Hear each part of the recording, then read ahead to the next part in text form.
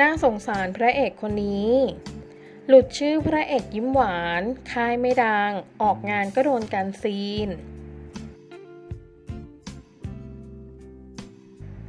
ทำเอาขาเผือกหูผึ่งไปตามๆกันค่ะ เมื่อล่าสุดเพจดังอย่างจับโปะดาราได้ออกมาโพสต์ว่า นี่เรื่องจริงหรือว่าบทละคร หลังได้ยินแล้วก็สงสารพ่อพระเอกหน้าแบลยิ้มหวานคนนี้มาก เม้าท์กันว่าคนในค่ายไม่เคยชอบขี้หน้านาง bias โน่นนี่หาเรื่องตลอดเวลา มีอยู่วันหนึ่งโดนเรียกไปด่าต่อหน้าคนเยอะๆ แถมด่าแฟนคลับให้พระเอกยิ้มสวยคนนี้ฟังด้วย คิดดูสิ ด่าแฟนคลับเขาให้เจ้าตัวเขาฟัง ก็พานอย กลายเป็นมิสเตอร์สนามอารมณ์ที่แท้จริง ว่ากันว่าพระเอกไม่โอเคที่คนในค่ายมาด่าแฟนคลับนาง นางรักแฟนคลับมากๆ แต่ก็ทำอะไรไม่ได้ อีกทั้งผู้ใหญ่ในค่ายก็ไม่ปลื้ม มีงานก็ไม่ดัน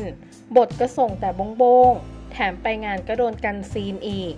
ได้ยินแล้วเห็นใจพระเอกคนนี้บ้าง ฮีต้องอดทนมาตลอด กล้ำกืนฝืนทนอยู่ เพราะสัญญายังไม่หมด บวกกับเคารพผู้ใหญ่บางคนที่ยังเมตตา ก็เท่านั้น ซึ่งงานนี้ค่ะชาวเน็ตนั้นก็คาดเดากันไปต่างๆ นานา แต่ก็ไม่รู้นะคะว่าพระเอกยิ้มหวานคนนี้จะเป็นใคร แต่ขอร่วมส่งกำลังใจมาณที่นี้ด้วยนะคะ